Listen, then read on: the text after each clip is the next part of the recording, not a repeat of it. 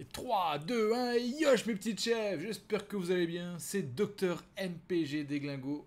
Aujourd'hui, on va faire ensemble un point Covid-19.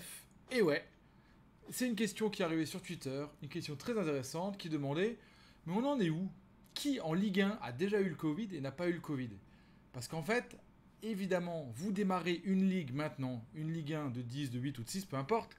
Il y a des joueurs qui ont déjà eu le Covid, donc ça devrait être des bons plans parce que logiquement, en l'ayant eu une fois, on ne devrait pas pouvoir leur avoir une deuxième fois. Donc il y a une liste de joueurs qui potentiellement seraient déjà traités, immunisés et qui ne devraient surtout ne pas manquer de matchs MPG lors, lors de la fin de saison. Donc ça, ça fait un avantage non négligeable quand on sait qu'on a des Mbappé qui l'ont déjà eu, des beignets d'air qui l'ont déjà eu, je vais pas dire que ça va mettre un peu de valeur, parce qu'après cette vidéo-là, peut-être qu'ils vont monter encore en valeur, ces gens-là. Mais en tout cas, j'ai décidé pour vous de faire le point complet, de savoir qui a eu le Covid par équipe, de façon à adapter votre stratégie. Allez, c'est parti on attaque avec quelques chiffres depuis le début de saison en Ligue 1. Donc là, j'ai arrêté les, les, résultats juste là. Donc évidemment, dans ma base de données, j'ai 583 joueurs de Ligue 1 donc 20 équipes.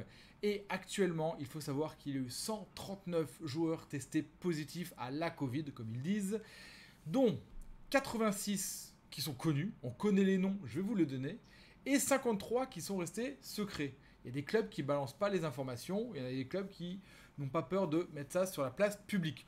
Donc mine de rien, ça fait quand même un quart des joueurs de Ligue 1 qui ont été testés à la Covid, ce qui est assez énorme quand même, hein. euh, c'est impressionnant. Et ça monte de jour en jour. Et une fois qu'on arrivera à 100%, est-ce qu'on sera tranquille? Je l'espère. Et on espère tous ne pas pouvoir le rattraper dans le futur. Donc voilà, trêve de bardage. Je vous demande de liker la vidéo, un partage, un pouce, qu'encore, c'était un travail de fourmi pour rassembler toutes les informations.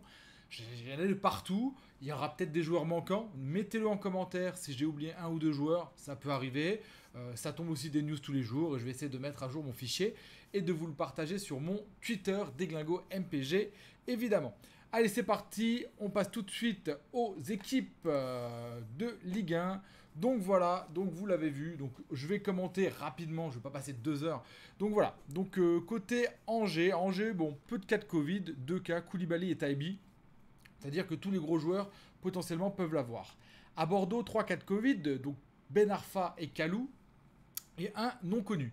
Donc Ben Arfa, bon, ça reste comme une bonne nouvelle qu'il ait déjà eu parce que bon, on sait l'impact qu'il peut avoir sur MPG. Ensuite, côté brestois, quasiment personne ne l'a eu, simplement le petit RL. Donc attention si vous enchérissez sur du brestois. Côté Dijonais, ça vient de tomber cette semaine. Là, les deux premiers, euh, donc là, on a eu Chala et Samaritano qui ont été annoncés cette semaine. Donc 5 cas, dont 3 non connus pour le moment. À Lens, vous l'avez vu, ça a été l'hécatombe, 17 cas de Covid. Donc Farines et Klaus euh, sont les deux connus. Les 15 autres, on ne les connaît pas. Et ça, eh ben, on va dire tant pis. Mais mine de rien, 17 joueurs sur 30, ça fait quasiment plus de la moitié de l'effectif. Bon, avec un peu de chance, vous êtes bien si vous mettez sur du Langeois, c'est vraiment la poisse d'aller parier sur un Ganago et qu'il ne l'ait pas eu. On ne sait pas. Ça, c'est un peu suspense. Il y a des équipes un peu suspense. Contrairement à Lille, où on est déjà à 7 4 Covid avec Fonte, Sumaoro, Nias, Bamba, Ikone, Renato et Ouattara. Une fois de plus, on a là des très très gros joueurs. Donc si vous misez sur un Bamba ou sur un Fonte, eh ben logiquement, s'ils ne se blessent pas, ils seront disponibles et il n'y aura pas d'épisode Covid pour eux car c'est déjà fini. Niveau l'orienté, 2 4 Covid, l'orienté Chaloba. À Lyon, Lopez, Polersbeck, Dubois, Cacré et Awar. Côté marseillais, 7-4 Covid avec Mandanda, Enga, Enga Bondet, euh, Alvaro, Amavi, Rongier, Payet, plus un joueur mystère, on ne sait pas. Côté Messin, seulement un joueur a eu le Covid pour l'instant, Fofana. Donc voilà, ça vous laisse une bonne idée. On va passer à la deuxième moitié des équipes. Donc voilà, donc là, côté monégasque, 8 cas de Covid, connu, le compte est baigné d'air récemment, 6 cas inconnus, 6 cas inconnus. Côté Montpellierin, après euh, la fake news, se disant que tout le monde avait le Covid, finalement on s'est rendu compte qu'il y avait seulement Pedro Mendes et le coach qui l'avaient eu. Mais en plus de ça, on a Ristich, Onyango, Vargas, Junior Samba, Junior Samba qui a eu le Covid au mois d'avril, si je dis pas de bêtises, qui était jusqu'en réanimation. Donc vous avez vu que même si les gens sont en bonne santé, Donc faites gaffe à vous, évidemment, surtout en ce moment en France. Le petit mollet, le petit mollet aussi qui a eu le Covid. J'ai vu son interview dans euh, Téléfoot, il disait qu'il avait eu du mal à récupérer après le Covid pour retrouver sa, bah, capacité pulmonaire et se sentir vraiment bien à 100% pendant quasiment 4 à 6 semaines. Quoi.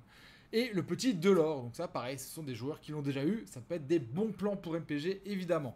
Côté Nantais, énormément de cas, 11 cas, on les connaît tous. Petric, Giroto, Mendy, Castelletto, Fabio Corchia, Touré, Abed, Blas, Coco, Colomwani. Donc les Nantais, vous pouvez y aller.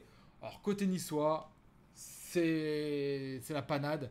Ça vient de tomber cette semaine, donc euh, le match de cette semaine devrait être reporté. Mais néanmoins, on a Pelmar, Attal, Ensoki, Lotomba, Colli, Lopez, Claude Maurice, Dolberg et Endoy qui l'ont déjà eu. Plus 12 nouveaux cas, inconnus pour le moment, on ne sait pas. Côté Nîmois, Briançon, Duljevic, Roux, Després et Haribi, 5 cas de Covid. Côté Paris, vous les connaissez, c'était suite à la Fiesta Ibiza. Euh, en plus de ça, on avait le Tellier, donc Navas, Marquinhos, Herrera, Paredes, Di Maria, Mbappé, Neymar et Icardi. Donc là, les gros joueurs parisiens l'ont eu, donc ça vaut toujours le coup de miser une petite pièce sur eux, voire une très grosse pièce quand même. Euh, côté Rémois, 2 cas avec Abdelhamid et un inconnu. Côté René, euh, Trufferté et 3 inconnus. Côté Stéphanois, on connaît seulement Moukoudi plus 6 inconnus. Et côté Strasbourgeois, c'était en tout début de saison, Camara, Djikou, euh, Cassie, Bellegarde, Aoulou, Waris, Zoe et 5 inconnus. Donc là, pas mal de Strasbourgeois, les gars. Donc voilà, c'est tout ce que j'avais à vous dire. J'espère que ces infos, elles vous ont servi. J'espère vraiment qu'elles vous plaisent et que bah, vous allez en faire bon usage. Vous allez pouvoir affiner votre stratégie, vos futurs mercato. En tout cas, moi, je vais m'en servir, c'est sûr. En attendant, vous le savez, on se retrouve ce vendredi pour le briefing de la journée numéro 11 de Ligue 1. Rendez-vous à 16h, on va faire le tour des stats, toutes les compos, les blessés, les Covid, les pas Covid. On va tout mettre en musique pendant une heure et demie avec le grand jeu pour gagner mon fichier Excel ultime.